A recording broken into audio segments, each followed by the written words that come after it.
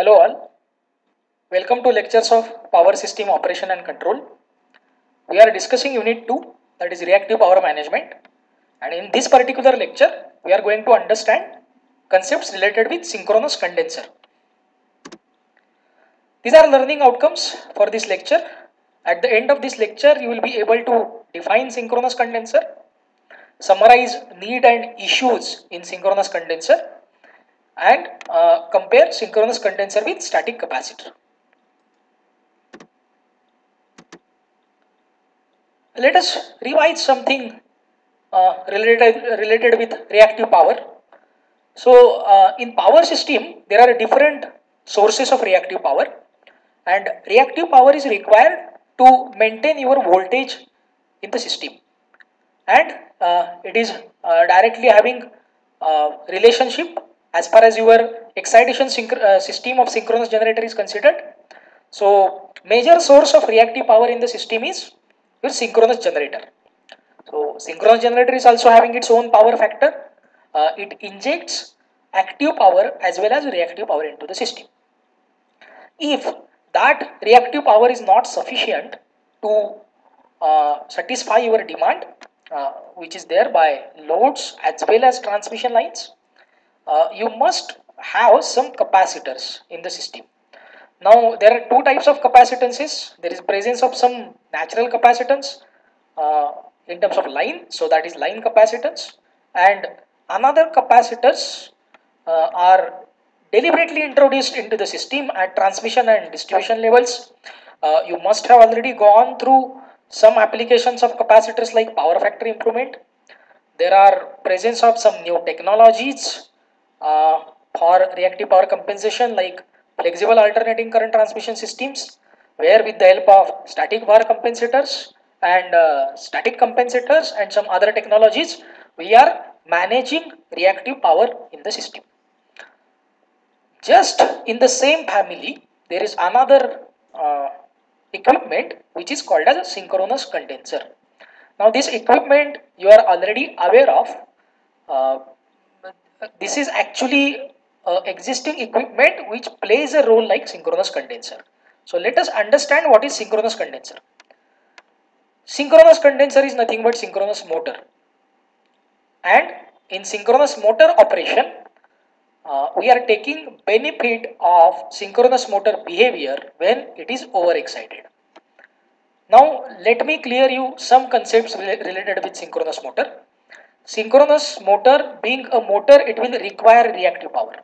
So synchronous motor can operate uh, either in uh, under excited mode or in over excited mode depending upon what is the value of applied voltage and what is the value of back EMF.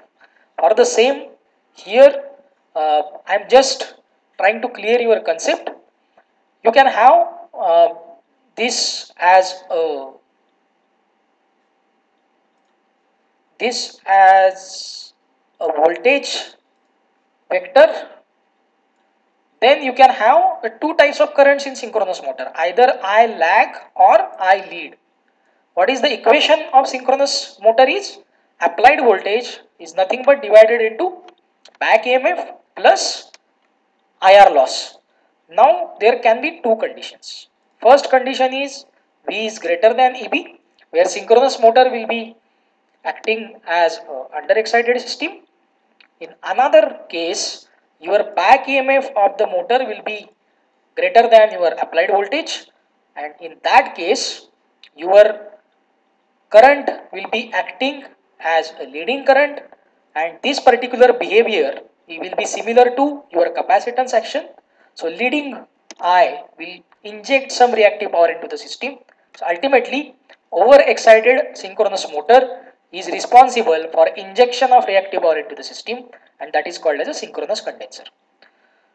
Another condition this motor must be at no load.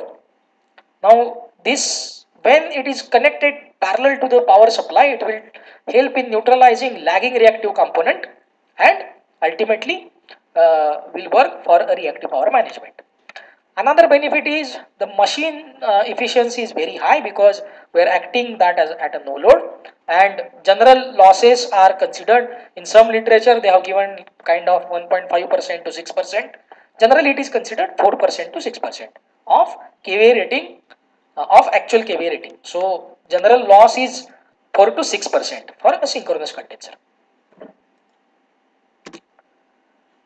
Why to use synchronous condenser? What are the benefits? So let us understand some of the benefits of synchronous condenser.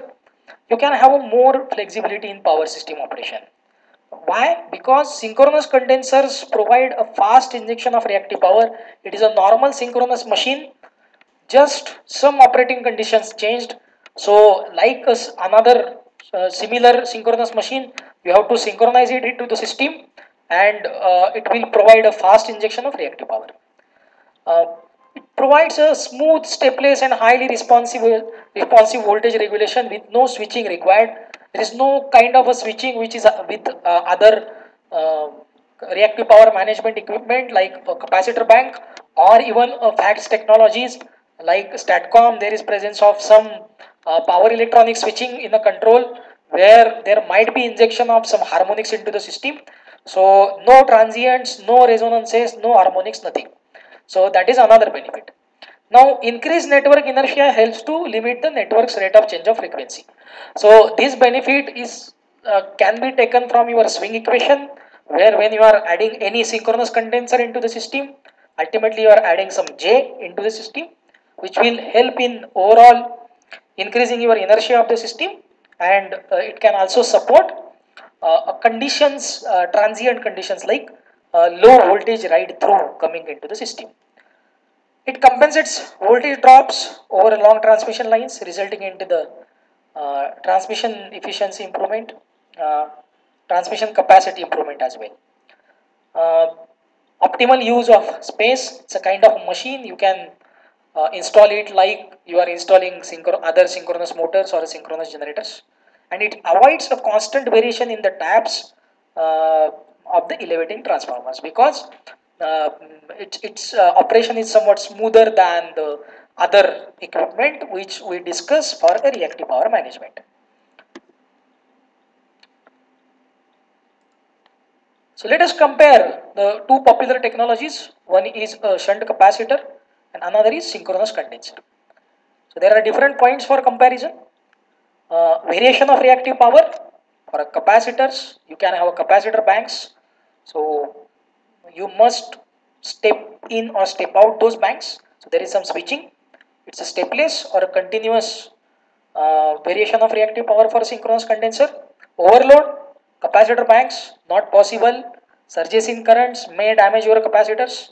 Possible with reduced rating, so you have to derate your synchronous motors. You can definitely overload those. Installation uh, for shunt capacitors, it's kind of a static device so you can have it's uh, like a box you can put at any place uh, fulfilling minimum requirement. Installation is very simple. Synchronous motor because it is rotating part. While designing you have to consider a number of things like a civil foundation, vibrations, maintenance is very difficult. So mm, that is a typical. So that, that, that brings a drawback in your synchronous condenser. Future expansion not possible once installed uh, for a synchronous condenser Capacitor, yes. According to the requirement, you can add more and more capacitor into your capacitor bank and uh, you can have a flexibility in uh, rating of the capacitor bank. Resonance, because capacitor is present, uh, it can have a resonance with inductance of your system. LC component and, uh, for a synchronous motor, not possible. Losses, we already discussed for a synchronous condenser, 4 to 6%, for capacitor, lesser than 1.5% because there is no rotating part. So capacitors only switching loss kind of thing and minimum requirement for uh, you know capacitor uh, for its own there might be some heating losses. Apart from that there is no major loss but in synchronous condenser continuous rotation is over there. Ultimately it's motor. So uh, losses are higher compared to uh, capacitors. Initial cost less for capacitors comparatively high for synchronous condensers. Effect on short circuit current for capacitor is very less But for synchronous condenser, ultimately it's synchronous motor. It's going to add some kind of reactance into the system. So it will impact definitely a short circuit current. Flexibility, we have seen it's a flexible uh, synchronous condenser once rating is designed uh, decided uh, once you put into the operation it's not that much flexible. Now uh, what may be the issues in synchronous condenser? Uh, we have discussed in last slide very high maintenance cost compared to other technologies because it's machine. Noise production is there. Cost is high compared to static capacitors below 500 kVA. So uh, there can be a break-even analysis for that. No self-starting torques. Yes, synchronous motor is not self-starting. So you have to start it uh, with the help of some other auxiliary equipment. So again that brings you some extra investment. Supply may be interrupted due to out of synchronism operation. Typical issues related with synchronous machines. You have to synchronize those with supply.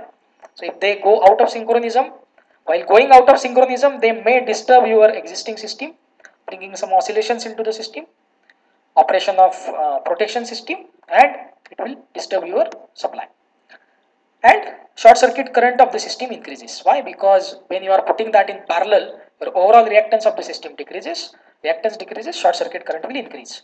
So these are concepts related with synchronous condenser.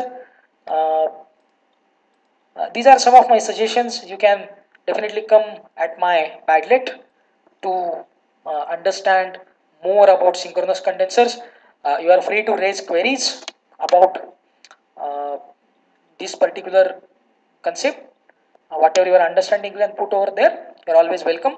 Just ensure you are writing your queries uh, in the column of reactive power management of my uh, these are some reference books i am uh, suggesting. One is jb gupta a course in power systems and vk mehta rohit mehta principles of power systems. Apart from that there are n number of a number of uh, manufacturing uh, company brochures are available on Google, on internet, uh, like uh, General Electric, some other companies like ABB. Uh, you can definitely refer those, uh, refer those brochures on Google. thank you. we'll meet in next lecture. Thank you.